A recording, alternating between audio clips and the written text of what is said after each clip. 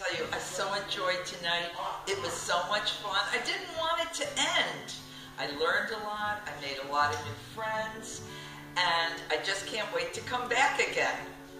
Wow, I've been really needing to get out of my shell. I'm actually going through a divorce, but I am a child of divorce. And uh, I got out. Uh, I am somebody that has a lot of improv experience. I work with the troupe. I've taken classes everywhere. And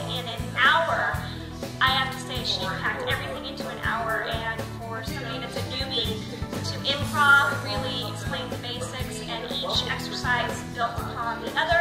And I'm just excited. Tuesday night, and I'm excited and pumped up for life. so great, and I had so much fun. And you know, I'm a senior, and as a senior, I think that I can't have fun anymore because my life is over. But it's not. She proved to me that life will go on, and I'm going to do everything that she tells me to do, and I'm going to laugh all the time. So, if you're having a boring life, or you're getting down to her, her class on Tuesday nights.